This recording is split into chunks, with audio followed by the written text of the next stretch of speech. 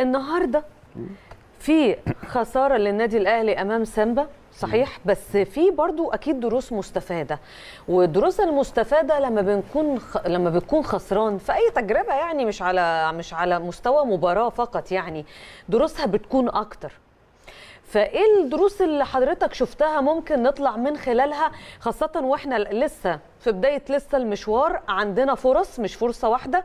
إيه اللي ممكن اللعيبة تستفيد منه والجهاز الفني يستفيد منه كابتن خالد؟ آه يعني هي مش أكتر من مباراة خسرناها آه. مفيش فرقة على فكرة هتكسب والله على طول. يعني. يعني آه. إحنا برضو عشان نبقى بن بنفكر بعقلانية شوية وبهدوء شوية لأن دايما الكبير دايما لازم يبقى بيبقى عاقل وإحنا عشان كبار والنادي الأهلي كبير فإحنا عاقلين على طول ومفيش حاجة بتأثر معانا دي مباراة آه، وعدت ولكن زي ما أنت بتقولي في دروس مستفادة الدروس المستفادة أنا من وجهة نظري يعني الفنية انت بعد الحلقة دي هتبقي مدربة كبيرة على فكرة بس خدي بالك من الكلام اللي هيتقال. حاضر. الدروس المستفادة أول حاجة بالنسبة للجهاز الفني. بس أنا قبل ما أتكلم عايزين نتفق إن كرة القدم فيها توفيق وعدم توفيق. أكيد ده أكيد. موجود على كل مستوى الفرق في العالم. يعني ممكن فرقة بتبقى كويسة جدا والتوفيق ما بيحالفهاش بتخسر. المهم إن ما يبقاش فيه تقصير. فنيجي نتكلم على مباراة سيمبا مباراة سيمبا أنا أول حاجة كان لازم اللعيبة والجهاز الفني ياخدوا بالهم بشكل منها بشكل كويس جدا نسبة الرطوبة مم. على فكرة أنا بزعل جدا لما ب... ب... بسمع كلام في طبعا كلام في الكورة بيخش الدماغ لما بيكون مظبوط وبيخش العقل وفي كلام أهو بيتقال بس وتعديه بيطلع وخلاص لا وتعديه بتسمعيه من ودنه ويطلع آه. آه الحر ما يفرقش مم.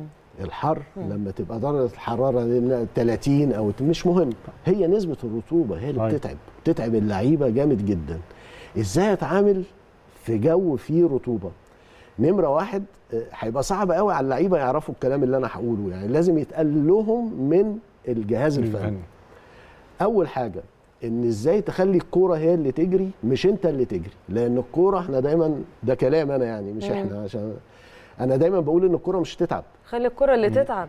الكوره لا. مش هتتعب. آه. طول ما انت بتمشيها. صحيح. أيوه صح. الكوره مش هتيجي تقول يعني لك كفايه أنا آه، تعبت آه. عايز أقف. آه. إنما أنا لو فضلت أجري عمال على بطال في الرطوبة. مم. تمام؟ نمرة واحد هلاقي نفسي بجري بدون إنتاج. نمرة اتنين مجهودي تعبت. صحيح. فخلاص كل أجهزتي قراراتي كلها مش هتبقى مظبوطة. فكان آه، بيعجبني جدا في الجيل بتاع أبو تريكة وبركات ووائل جمعة الجيل ده. آه، كانوا بيعملوا حاجات كويسة جدا بالفطرة لأن موهبتهم كانت عالية وإمكانيات الفرقة كانت عالية. في الماتشات اللي بره الماتشات اللي جامدة كنت تلاقيهم أول ربع ساعة مستحوذين على الكورة. باص باص. باص باص باص. فالكورة عمالة بتمشي بيهدوا. بدون مجهود زيادة. بدون مجهود زيادة. وفي نفس الوقت بتمتصي حماس الفرقة اللي قدامك. لأن في مبدأ في الكورة في حاجات في الكورة مبادئ ما بتتغيرش. واللي مم. يقول غير كده يبقى يعني في ثوابت. إيه هي الثوابت؟ طول ما انت معاكي الكورة مش هيجي فيه جول أيوة. يعني بمعنى إن أنا آه، لو مدرب في على حسب كل واحد على حسب فكره لو أنا عايز أدافع كويس أخلي الكورة في رجلي أستحوذ أكتر آه أستحوذ بس أستحوذ فين؟ مش في التلت الدفاعي الأخراني صحيح. بتاعي. مظبوط. في نص الملعب في التلت في نص ملعب الفرقة الثانية المنافس. وفي برضو حاجة من الثوابت طول ما الكورة في نص ملعب المنافس أنت في أمان. آه. حتى لو ما بتعمليش بيها حاجة. مم. زمان كابتن جوهر الله يرحمه قال لنا في مرة جينا في ماتش في آخر 20 دقيقة تعبنا. مش فاكر الماتش إيه وكان شكلنا مش كويس. مم. فقال لنا حاجة جميلة جدا لغاية دلوقتي الله يرحمه كابتن جوهري طبعا.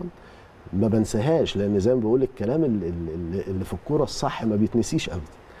فقال لك وأنت تعبان طول ما الكورة معاك هو الجمهور حاسس إن أنت تعبان؟ لا مش حاسس فمش هيشتمك ولا هيزوم عليك. الكورة معاك بس أنت تعبان بس ما حدش دريان. فلما تتعب خلي الكورة في رجلك بقدر الإمكان. أنا كان نفسي الماتش اللي فات نتعامل بال- بالمفهوم دون مع مباراة سيمبا نظ- نظير نسبة الرطوبة العالية. طب دي خبرة لعيبة لأن أنا برضو